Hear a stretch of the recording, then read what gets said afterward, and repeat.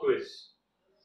Name the marine mammal that is a herbivore related to the elephant, has a cow in its name, probably from a mythological story related to the city of Dwarka, and is critically endangered in India. Only an estimated 250 odd individuals are surviving in India. The answer is dugong or the sea cow. Stumped I was till I heard this story of conservation of dugong. Let us hear this fascinating tale from Dr. K. Sivakumar of Wildlife Institute of India.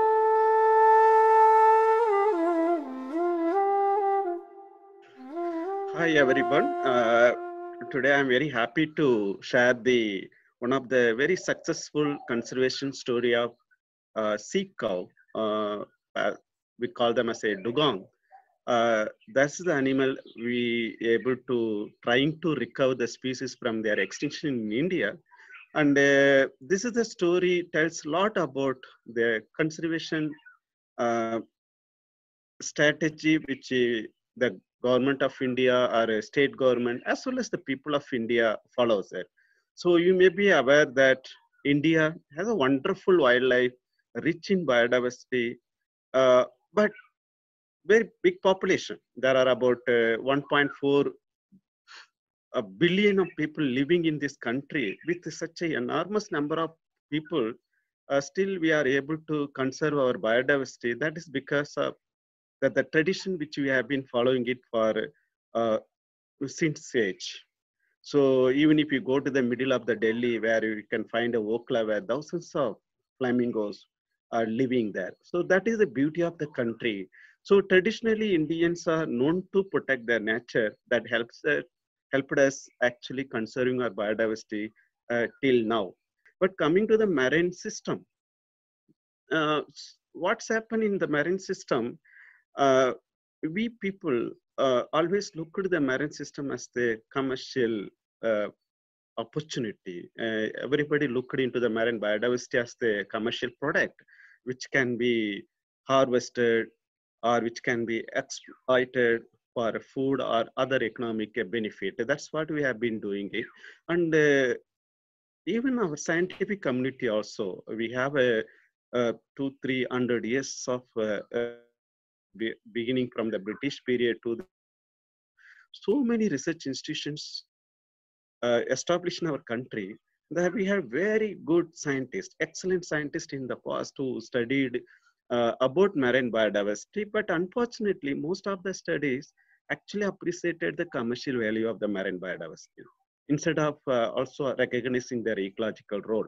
So that was the reason why it's happened in our country uh, we started losing so many species or the population of the many species in our country and also many species which occur in our country yet to be identified. We know there are larger species uh, that have been identified but we believe that there are another 50 percent of species which occurs in, in indian water which we don't know. Because in indian water you know again if we talk about that we have a 7500 kilometer long coastline. And uh, we have a very two beautiful group of islands in either side, Arabian Sea as well as in Bay of Bengal. So all those things with uh, such a vast EEZ zone in our country accommodated a very rich marine resources in our country, but lot of problem, lot of problem, but somehow we are not able to uh, address those issues at least two decades before. But now scenario has changed in our country. People started giving attention to the marine biodiversity which that they deserve now because people understood the value of the marine resources because uh, there are about 200 million people of India directly related to the uh, marine resources for their livelihood. Such a very, very important uh, resources are now getting the attention of everybody, whether it is the politicians, bureaucrats, or researchers, or whoever. Okay, and also people also realize that, is what the marine research and marine conservation program in our country got uh, significant uh, enhance development in the last, uh, I can say about eight decades later. Now, one of those things, there are many programs we have it. We were very successful in uh, taking care of our sea turtles. They talk about the classical example in Orissa sea turtle conservation where uh, Forest Department of Orissa along with uh, several communities with the international uh, some of the civil society worked very well and uh, they could able to protect their habitat, they're conserving the species when they come for a mass listing, all those things. We have Chilka Development Authority, we have Gulf of Mannar Biosphere Reserve So there are some examples we have it, but one of the species level conservation story which uh, I would like to share with you is the, about the sea cow. The sea cow, you may be wondering what is why it is called a sea cow. Very interesting story because India is very good in uh, mythology. So whether you talk about elephant with Lord Ganesha or whatever, and like that in uh, Dugong also has an excellent uh, mythology. That is, once I visited the Dwarka temple in 1999 when I was actually looking for lesser florican with my uh, teacher, Dr. Ravi Sankaran, uh, the late Dr. Ravi Sankaran, one of the greatest and finest uh, field ornithologist of our country. So we were actually uh, conducting a survey. Then that time I reached the Dwarka temple. So we were talking about uh, these uh, floricans with the pandits there, and of course we were also. I was talking about something about a dugong because I was personally interested in aquatic biodiversity. I mean, I was talking with the pandit, and I asked him, uh, "You ever seen this uh, this animal that is a dugong?" I showed him. He said, "Yes, it is our animal." He very proudly told. Me. I asked him, "What is that? What is the meaning of our animal?" Then he told me that one of the excellent stories. He said that Lord Krishna, uh, due to a curse, uh, in fact, he was cursed by for his sin he's committed earlier that one day his kingdom will be drowned under the sea. So that day has come. And then the cow, you know, the Lord Krishna love cows. So all the cows of the Krishna approached king and prayed uh, Krishna saying that you people made a mistake. Yes, you are deserved to be punished. What mistake we committed, why should we punish? Then Krishna, because of his love on this cow, and he said that don't worry, uh, even the kingdom getting drowned, uh, you will still survive under the sea, in the sea as a sea cow. So that is a beautiful uh, story uh, narrated by a Pandit in Dwarka. Uh, almost now it is about 22 years uh, before I heard that story. So this animal drowned, but actually these are not a cow. They are actually related to elephant actually. This uh, sea cow, the dugong, are related to more relative of elephant than in the cow uh, which we have it in our country. And second thing is why then it is called a sea cow? Because they feed grasses, any flowering plant under the water in the sea, we call them as a, a grasses, so sea grasses. So this animal feeds some of these sea grasses. That's why we call them as a sea cow because the cow eats grasses on the land. So we call them a cow. Similarly, we started calling them a sea cow. But in some places, like if you go to Andaman, where people call this animal as a uh, sewer, means uh, sea pigs. That's what uh, people call them. That such a wonderful animal. We have it uh, in the country, but it's not all over the things. But this animal right now, we have it in uh, where the Dwarka temple or the Lord Krishna used to uh, govern that kingdom. Then we have uh, another regions in the down south of our country in the east coast, that is the Palk Bay and the Gulf of Mannar, where uh, Rameshwaram temple, again, it is a place of Lord Krishna. Rameshwaram is a Gulf of Mannar. Manar means a, a Krishna. Okay, so it's a kalpa of Krishna. I don't know the relationship between Lord Krishna and the cow again. But we do have a population in Andaman. So this is about the Indian uh, distribution of the dugong. But people believe that the dugong used to be there throughout all along the Indian coast. Unfortunately, the most of parts of the dugong population the distribution range got uh, uh, destroyed or got extinct. So we have only a patchy population, three fragmented population of dugong in our country, and numbers also not more than a 250. Again, this is a guesstimate actually. Uh, so far, we haven't done any estimate on the population of the dugong. It is a, just a, based on an interview, what we believe that we may be having about 200 to 250 dugongs in our country. Uh, this is the animal which occurs. Then you may ask that in, in there was some report, scientific report, I can say, 40 years before in Gulf of. In one year, uh, one season, I can say, there are about 200 dugong were killed for meat. So this was the reported by a scientist in 1970s along the Gulf of. That means we used to have a very good population in the past, but right now the sighting of dugong became a very, very uh, rare in our country. So what are the reason for that? The reason, uh, the one of the major reason for declining of uh, dugong in our country is fisheries. It is not only in, in India, almost all over the world, because we have about uh, 1 lakh uh, or thousands of dugongs, and majority of them are living in Australian waters, and uh, we have that. This is the issue. The fisheries interface with the dugong is the biggest issue because dugongs are a floater. They are not a good swimmer. They float and they live in a shallow water uh, nearby shore where seagrasses are there because seagrass require sunlight to grow. The sunlight can penetrate up to seven meter depth very intensively. That is the thing where the seagrass we can find out. So 10 to um, 7 to 10 meter depth is the uh, of the seagrass in our country. Uh, that is a seagrass used by the dugong water, where the seagrass beds are very, very rich in uh, marine biodiversity because many species breeds in the seagrass habitat. So fishermen also aware of that. So they go and do fishing that area where the dugongs getting entangled. Now, apart from the seagrass eaten by the dugong, but the dugong playing a major role in the seagrass habitat. In fact, uh, our research team could quantify that the economic value of uh, one dugong in per year is almost about uh, 2 crore rupees because they work like a farmers in the seagrass, weeding out the seagrass beds, making sure that the seagrass is more conducive to the more marine species like shells, crustaceans, or uh, cephalopods, whatever. There are many other species, commercially important species to breed.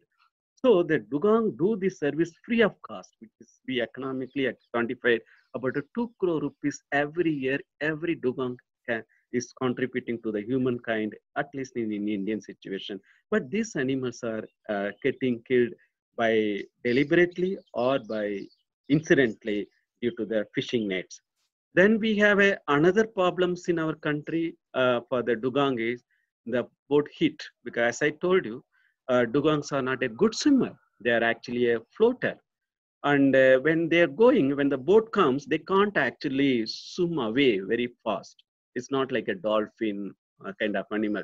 So they get stuck. They, they actually hit by the boat. So the animal getting killed. And then the third major problem which we face in our country is the people go for hunting a dugong because some people in our country eat dugong. And uh, as usual, the culprit is Chinese traditional medicine. People believe that it has some medical property, but unfortunately, not like that. It is completely wrong and fake that there is no medical uh, property must be there in a dugong meat because it's like any other meat of any animals, mammals which you have it. So it's a false things, but people kill it uh, for a meat they used to kill and this a poaching is the one issues we are facing it. Then there are several other common problems as usual for any marine systems, whether it is a sand dredging, coastal development activity, pollution, climate change, bottom trawling, all those problems are actually putting pressure on the dugong as well as other animals which occurs in the marine system. So what's happened in the past, because dugong got attracted by the uh, forest manager also, you know very well that in the Indian forest system, uh, our officers are well trained and are extremely good in managing the terrestrial uh, wildlife in our country. They have been doing a, such a wonderful job. But unfortunately, they are very poor in managing the coastal marine system. They were not trained in those days. But now only we initiated training the officers uh, in even managing the marine biodiversity in our country, which we started uh, uh, more or less eight years before. Now it became a regular program there. But what's happened, the Tamil Nadu, Andaman Nicobar and Gujarat, they initiated a several conservation program to take care of the dugong. Uh, I'm talking about 10, 15 years before. So for example, Tamil Nadu was the pioneer because they had a uh, biodiversity paradise hotspot of our country, like Gulf of Mannar Marine National Park, where they given a lot of protection and using the UNDP GEF, where this Gulf of Mannar Biosphere Trust was initiated. This is a trust created to take care of the marine biodiversity along with the community which living in the coastal region. It got some good result in the field also. And then there is a Tamil Biodiversity Conservation and a Greening Project. With the support of these two programs, they initiated several programs. They have been educating people, creating a lot of awareness, strengthening the protection to take care of the dugong in that state. And then Andaman Nicobar uh, used one of the very innovative new scheme of the Ministry of Environment that was launched in 2009 that is called Integrated Development of Wildlife Habitat by the Ministry of Environment Government of India. So with their support, uh, they actually uh, started uh, studying the species, conducting good research, excellent research. I can say that Dr. Elrika was there, uh, and uh, she was uh, started observing maybe the first study in, in India who initiated observing the animal underwater. They mapped the seagrass and they identified a threat, and then they started conserving the species based on the research finding which they got it. Then coming to the Gujarat, where we have this story of the myth but uh, used to be having excellent population, but uh, right now the population is uh, lowest among the other three places compared to other three places because of huge pollution and a lot of fishing pressure. Although the people uh, in Gujarat don't eat the dugong meat, but uh, indirectly they are responsible for bringing down the population because the fishing intensity very high. Moreover, the pollution is the big problem the water, high turbidity, apart from a pollution, naturally also the turbidity level in the Gujarat coast is very, very high. So because of that, the light pen don't penetrate much deeper. So because of that, the seagrasses are not growing better. So the population of the seagrass declined naturally, the dugong population also again. But again, they started with the IGMA program uh, they started creating awareness and started mapping that area and they strengthened the protection. This is what the things they have been doing it. But all these programs, although they've given us some good result, but not enough to bring back the population uh, from, uh, from the extinction. And also, apart from the conservation, as a federal government, what we did it, the species is protected legally. It is like a tiger. So anybody kill a tiger, what punishment he or she get it? It's the same punishment then even kills a dugong also will get it. So legally, this is one of the highest protected species of our country. And then uh, we also have a protected area that takes care of the some of the habitat of the dugong, like Gulf of Mannar National Park, Gulf of Kutch National Park, Mahatma Gandhi National Park in Andaman, Jhansi Rani Marine National Park. And these are the four important marine national parks that takes care of or conserve the habitat of the dugong in our country. Very interestingly, uh, two years before, uh, Ministry of Environment come up with a, it's a third national wildlife action plan. This is the Bible of our wildlife management or wildlife conservation of our country. This third action plan, the uniqueness is the first time they actually given a lot of importance to coastal marine biodiversity. There is an exclusive chapter. I was very fortunate to be part of this committee because I was assisting the committee uh, uh, many way drafting uh, some of the uh, actions. So I requested the committee member, please consider to do something for marine, which we ignored in the last two policies. And the committee member so kind and that is, is very important. So they come up with a lot of good conservation suggestion. So hopefully in the future, the marine biodiversity in our country will get more excellent. And the Ministry of Environment is very much keen on actually strengthening the conservation program in the marine coastal system because we know it has a lot of lot of uh, ecological role the marine biodiversity plays plus economic value also. So we do have the dugong has about uh, spread population of 40 countries. So we classified the entire dugong range into the uh, five regions. One region is called South Asia, where South Asia, India is the leading agency, where the dugong population also occurs in uh, Sri Lanka. We believe that the dugong in Indian, that is a Palk Bay side, probably going to the uh, Palk Bay of uh, Sri Lanka and coming back, but it, that yet to be proved by scientifically. Uh, then with these things, what's happened, the Ministry of Environment come up with a national level species recovery plan because there was a convention on migratory species. So you know that uh, recently India proudly and successfully hosted the COP plan of the CMS, the Conference of Parties in Gandhinagar. That was one of the most successful international conventions of our country. We organized successfully. So this the same convention also takes care of the uh, dugong conservation all over the world with the support of 40 countries. India is one of the country.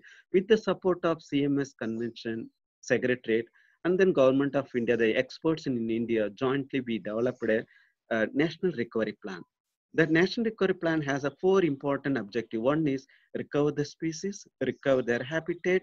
When want to do these two, this should be done with the involvement of stakeholder. That means it should be in participatory. We can't conserve the dugong without help of the community. That is a realization one must have it. So we understand of the involvement of especially the fishermen. So that is a third of to involve them how to make sure that the community is actually taking care of these species. Then the fourth uh, objective is we realize that there is a huge shortage of capacity of our in our country to manage the coastal marine system, yes, including the taking care of the dugong. So the capacity building was the fourth objective. So we set this four objective, we developed a national conservation action plan, but we want to even this recovery plan should be in a consultative uh, mode. So what the, we did it, then we approached the state government. We organized stakeholders with each state. So in Tamil Nadu, Andaman, and Gujarat. So we called the we all important stakeholders, the local community. We had a very high in that to work on this action proposing whether it will suit for your state or not or anything else new you can add it then there was a, a suggestion from all the three states that yes, we have been already doing a lot of work. Uh, why don't you integrate your national program with the already ongoing program?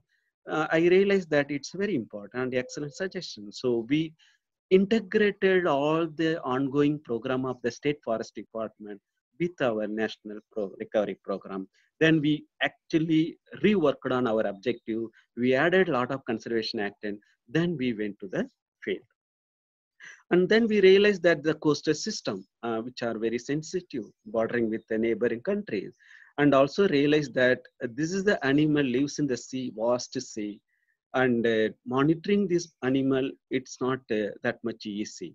If you want to assess the population, monitor their habitat, then we we realize that's the importance of the involvement of Indian Navy and Indian Coast Guard, of course, Marine Police also. So then we started talking with them. We were really lucky, uh, I can say. All our stakeholders are very much keen on helping the dugong. So Navy as well as the Coast Guard and then Marine Police in, in Gujarat, Andaman and Tamil Nadu. Also all three came forward and they were actually say that, okay, whatever help we can do it, we'll do that. But again, they required some kind of a capacity building to how to monitor, how to report all those things.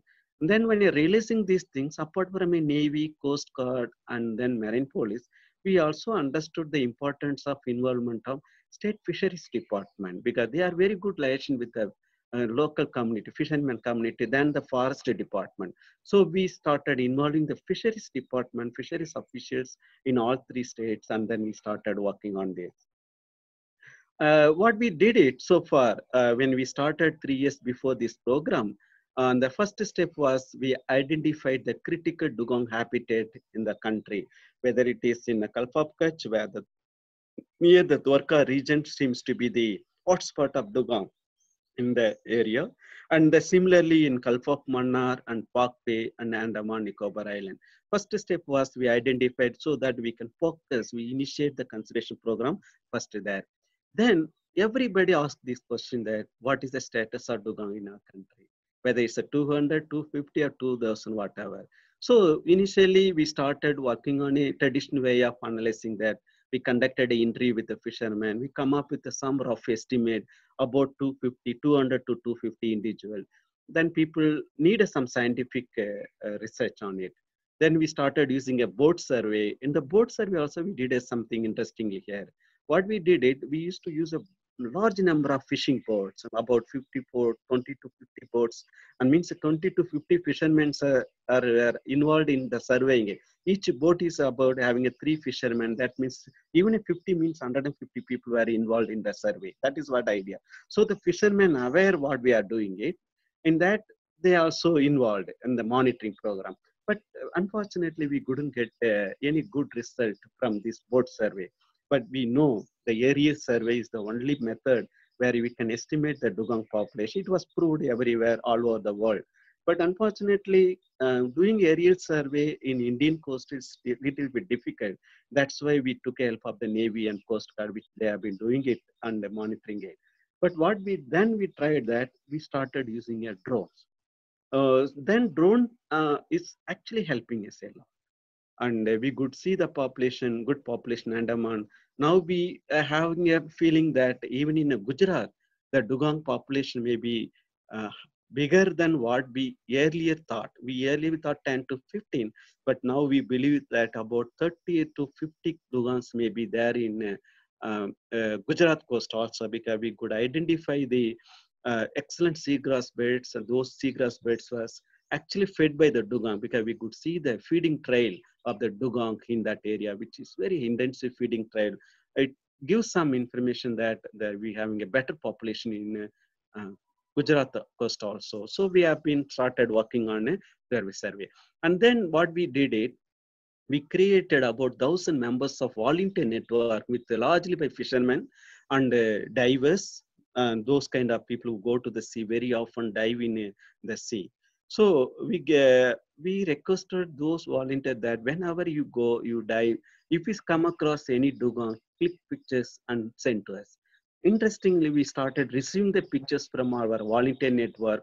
Now we are making a, trying to identify those individuals uh, because there are some very where where the population using this particular technique and also our our network because a lot of dugongs used to stand along the coast but unfortunately we don't have a much data on that because nobody reports. Very difficult to getting reported. But because of the dugong voluntary network now all the dugong standings are now getting recorded.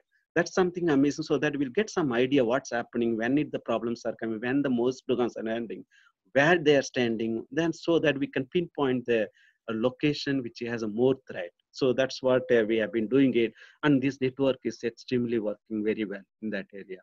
And then recently, because uh, we never thought that there are new kind of problems in our country. We thought fisheries related issues, boat strike, pollution, all threat to that. But we also found the ghost net. When the people do fishing, uh, sometimes what will happen, their fishing net get uh, cut. When the cut net, they won't remove it. They leave it in the sea. When they leave it on the sea, these nets goes and settle down on the sea grasses.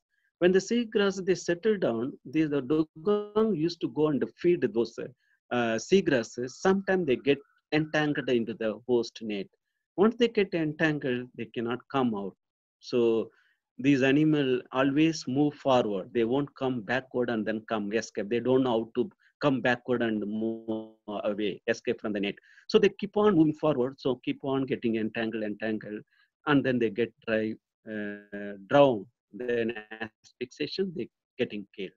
So these are the new problems we uh, noticed during our uh, the last two years. Then then we started working with the uh, forest department, marine police, coast guard, and then we also with the help of the college student. Now we have started removing these uh, debris, especially the ghost net uh, from the seagrass bed so that the dugongs comes and feeds, they don't get in, entangled by the net. That's the one thing we initiated that is come in the later stage. And also my team in Tamil Nadu Andaman done an extremely good study on the other marine pollutions. So now our volunteer network with the help of the forest department, because we trained the forest people also, now they're removing the those marine debris from the critical habitat of the dugong. And then very interesting things which I want to come back to the Pandit at Dwarka, the genetic study.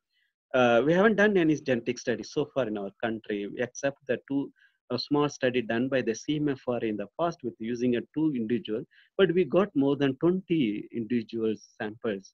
And what we found that one good news that our research team working on a genetics led by Dr. Samrat uh, and uh, Srinivas, what they found that uh, the population seems to be better in India, as per genetical at least. Uh, they said that the diversity, genetic diversity is good. So we no need to worry because there is a some kind of genetic exchange is happening. Probably we are unable to locate the population. That might be the reason, but still the genetically the population is good. And also they said that the Indian population seems to be ancestor population on the world. And some of the genes are matching with the ancestor dugong population in Australia. Now the question is whether the dugong originated from Indian Sea and then radiated through either side, one from Australia, another side from Africa. Whether the Dwarka Pandit was correct, we don't know. But it looks like that our Indian uh, dugongs are slightly unique in nature because it is a seems to be an ancestor dugong population. Uh, and this is the program. Uh, we started getting a very good result, but when initially when we approach, even in the earlier conservation effort, uh, they have been telling the fishermen that don't kill this animal, which is a protected species. It gives a lot of benefit to the human being, all those things. But the poor fishermen wouldn't listen to that because they need money. And these guys are very, really poor people. So what we did it, we also went and approached the fishermen, please don't kill them. We know the fishermen are really good-hearted people. Uh, once they convince, they will really give their life also. So, but again, they were reluctant. The poaching was continuing. People are killing animal. Killing in sense, yearly about average 10 dugong used to be killed every year in India uh, before 2017, I can say. And uh, then what we did it, we realized the school children uh, of the fishermen community are getting dropped in after 8th standard because of the lack of money, lack of support, fund support, and they are also getting into their joining the parents to getting into uh, fisheries related uh, livelihood. So what we did it, we targeted those school going children of the fishermen. Uh, now we started supporting their education. So we launched a very innovative program called Dugong Scholarship Program. So every month we pay some fellowship. That's a 500 rupees per month per students we pay for two years. So that the students uh, education getting uh, supported by this money. And then what we, we are doing it in last three years. What we found that uh, the school dropout was significantly reduced. That's an amazing result we got it.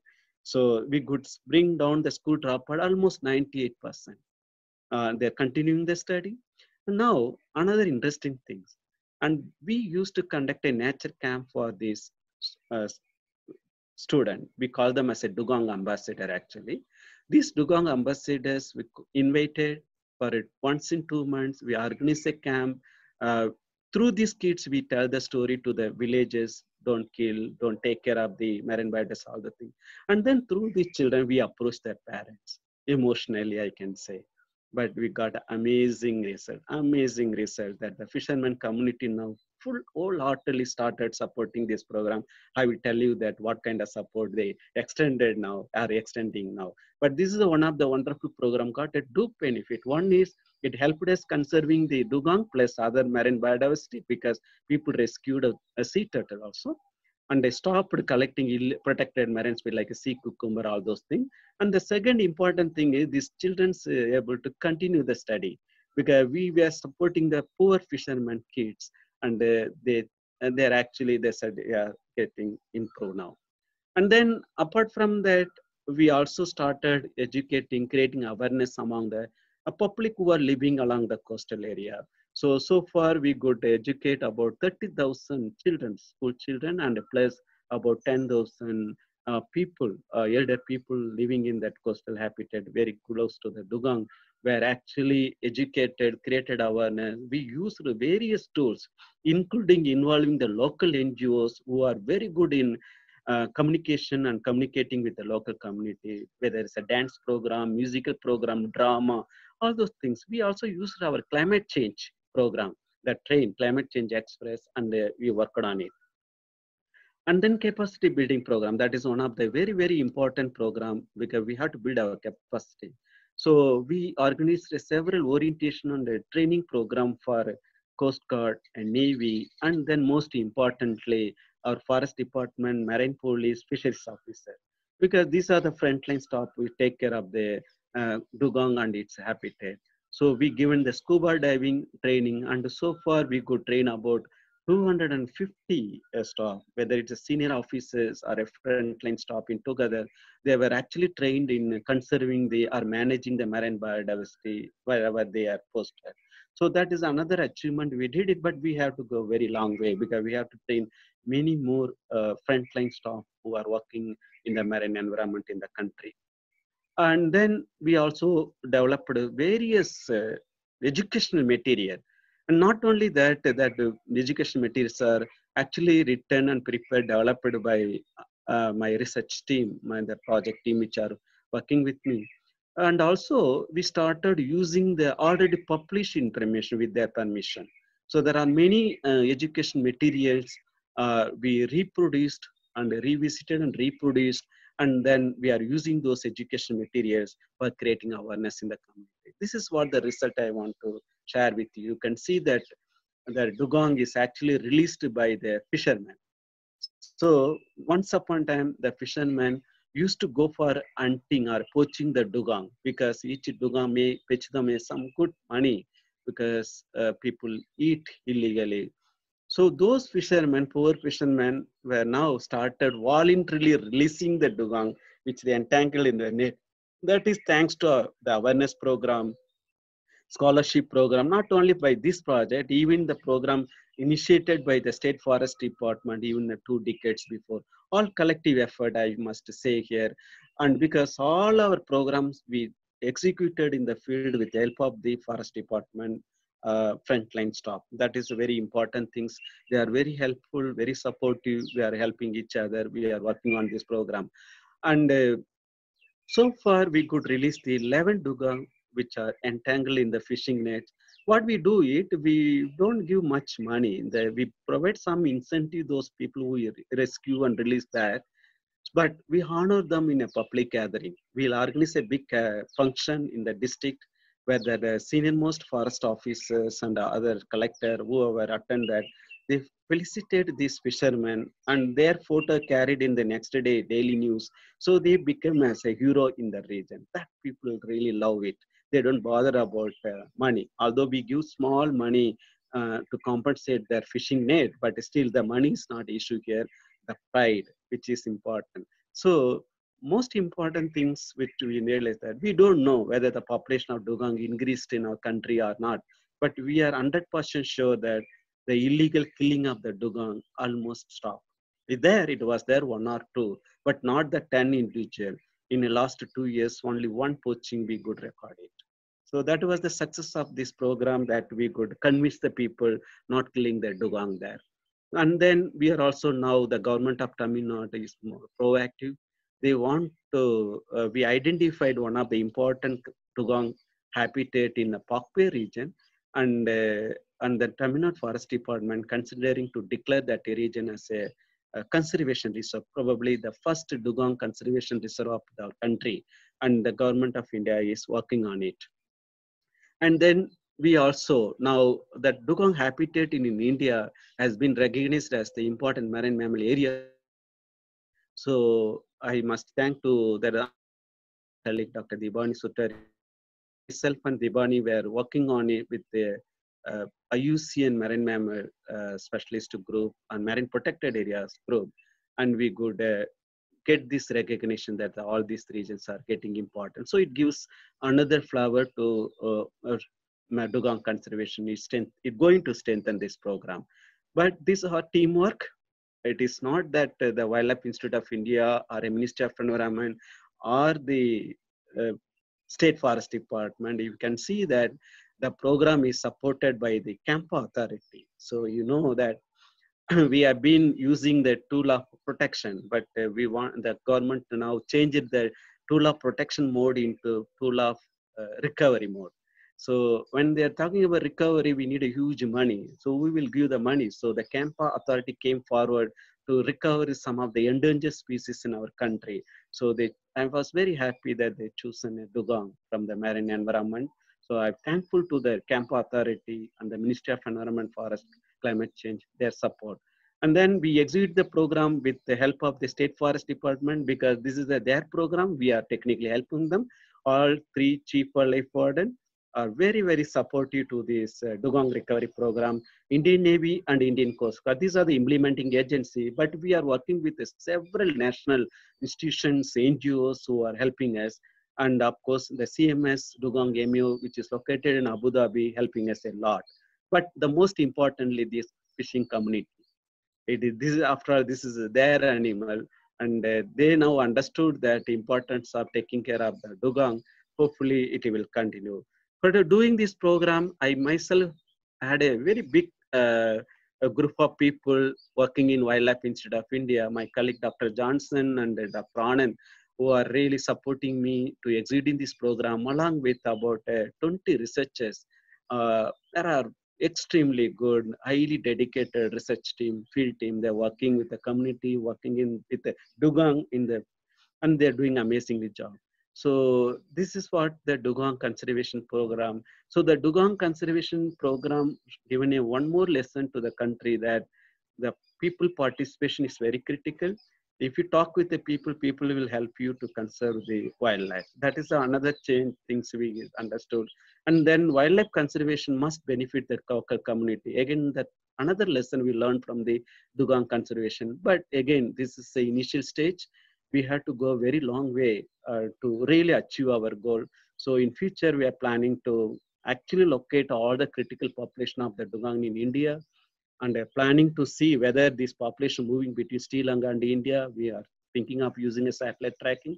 And of course, uh, we need more support from everybody to take care of the species because as I told you, one dugong can contribute 2 crore rupees to the humankind in India. That is the value of the dugong. So thank you all. And with this, I finish it. I thank you once again.